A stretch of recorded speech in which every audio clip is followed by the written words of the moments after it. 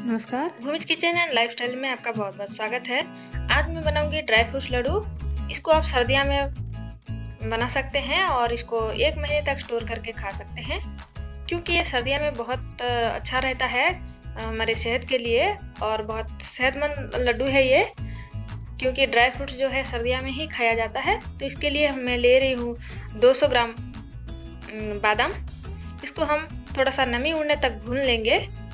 ये देखिए, ऐसे भुनेंगे हम। मतलब बहुत ज़्यादा रोस्ट नहीं करना है आपको। जैसे कि इसका थोड़ा थोड़ा मॉइस्चर उठ जाए और थोड़ा क्रिस्पी हो जाए, ऐसे ही हमें भुनना है।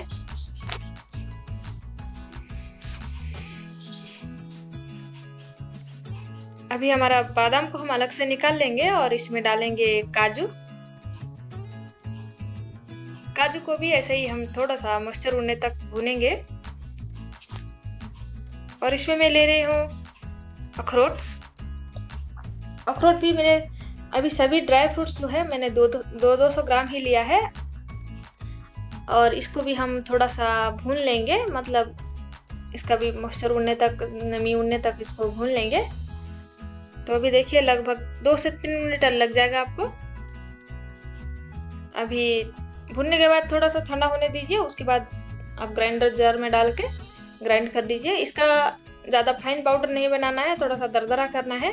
दरदरा मतलब आप जो ग्राइंडर मतलब ग्राइंडर जार में आप डाल के ग्राइंड करेंगे तो उस समय आप अलग एक से दो बार ही ऐसे चलाएँगे तो ये दरदरा पाउडर बन जाता है और जो बच जाएगा मतलब बड़ा बड़ा रह जाएगा, उसको हम निकाल लेंगे और फिर से हम ग्राइंड करेंगे। तो इसका छानना वानना कुछ ज़रूरत नहीं है। अभी यहाँ पे मैंने 300 ग्राम लिया है खजूर और इसमें हम हाफ़ कप के करीब पानी डालेंगे। और इसका एक पेस्ट बनाना है। अगर आपका पानी कम हो गया तो और थोड़ा डाल के फाइन पेस्ट जैसा बनाना है।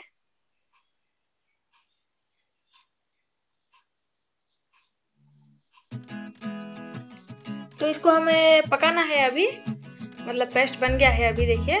और जितना भी थोड़ा बहुत रहे उसमें फिर से थोड़ा सा पानी डाल के इसमें डाल दें। और इसको हमें पकाना है। ये देखिए, इसका कलर जो है लाइट दिख रहा है। पकने के बाद ये एकदम गाढ़ा हो जाता है और इसका कलर भी मतलब चॉकलेट जैसा कलर हो जाता है। तो आपको हाई फ्लेम में या फिर मीडियम हाई फ्लेम में आपको पकाना है लगभग पाँच से सात मिनट के लिए। अभी पाँच सात मिनट हो चुका है मैंने पकाते हुए और इसका कलर भी देखिए चेंज हो चुका है। पहले कितना लाइट लग रहा था, अभी गाढ़ा मतलब गाढ़ा हो गया है और डार्क कलर का भी हो गया है। तो इस समय आप गैस को बंद कर दें, एक बार गाढ़ा हो जाने के बाद। और इसको अलग से मैं इंडक्शन कुकर के ऊपर ही बना रही हूँ। आप चाहे तो इसको अलग रख के, इसके बाद आप ड्राई फ्रूट्स का जो पाउडर है, इसमें मिला सकते हैं। तो ध्यान रखें कि इस समय जो आपका गैस जला हुआ नहीं चाहिए, बंद, मैंने बंद कर दिया है। तो इसको हम अच्छे से मिक्स कर लेंगे। अभी देखिए मैं मिक्स कर चुकी हूँ और इसमें हम डालेंगे लगभग हाफ़ कप जैसा नारियल का बुरंदा मतलब डेसिकेटेड कोकोनट सूखे जो नारियल का पाउडर मिलता है ये मार्केट में आपको आसानी से मिल जाएगा।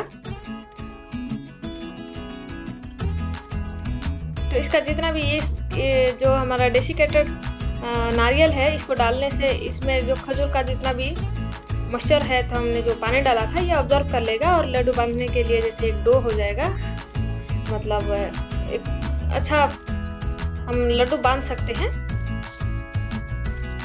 तो अभी इस समय जो है, लड्डू बांधने के लिए तैयार हो गया है हमारा डो और ऐसे हम लड्डू बना लेंगे। अगर तिल का शुगर फ्री लड्डू कैसे बनाते हैं, वो वाला देखना चाहते हैं तो डिस्क्रिप्शन बॉक्स में लिंक आपको मिल जाएगा, वहाँ क्लिक करके देख सकते हैं। तो देखिए, हमारा ड्राई फ्रूट लड्डू जो है कितना अच्छा बन के रेडी हो गया है। तो ऐसे ही मैं सारे लड्डू बना लूँगी। इधर देखिए, मैं बना लिया है इसको, लड्डू। और इसमें मैं लेंगे हाफ़ कप के करीब। फिर से हम लेंगे डेसिकेटेड कोकोनट और इसको ऊपर से ऐसे कोट कर देंगे, ताकि ऊपर जितना भी मॉइस्चर है, इसमें आ जाएगा और ये ऑब्ज़र्व हो जाएगा और आपको सूखा, जैसे मॉइस्चर फ्री लड्डू मिलेगा। अगर आपको वीडियो पसंद आए तो लाइक करें सब्सक्राइब करके बेल आइकन ज़रूर दबाएँ।